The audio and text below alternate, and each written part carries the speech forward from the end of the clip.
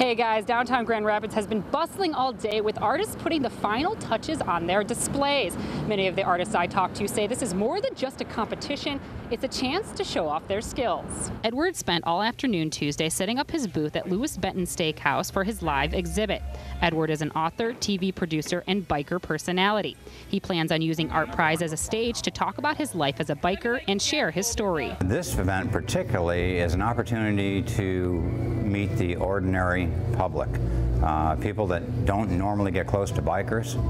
Uh, it gives them an opportunity to explore the biker lifestyle. This is the second year Edward has taken part in Art Prize. He says last year was amazing and he looks forward to seeing what this year brings. I think everybody is interested in motorcycles and the biker lifestyle, but most people are too shy or too scared to approach someone from that lifestyle. Live in downtown Grand Rapids, Morgan Bond, Fox 17 News.